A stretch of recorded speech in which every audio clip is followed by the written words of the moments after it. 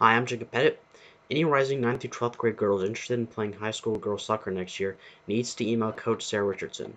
Training and tryouts are to be determined at a later date. All interested players will be given at-home training information. I'm going to sign off for the last time now. It was a nice experience doing these announcements and I hope to see you all again next year. Bye.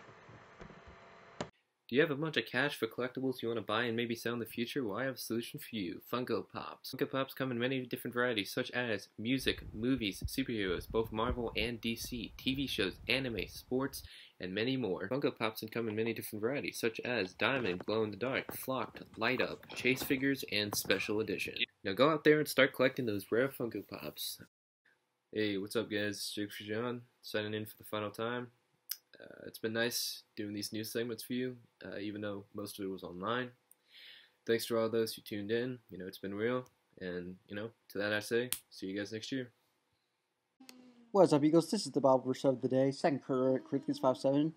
For we live by faith, but but not by sight.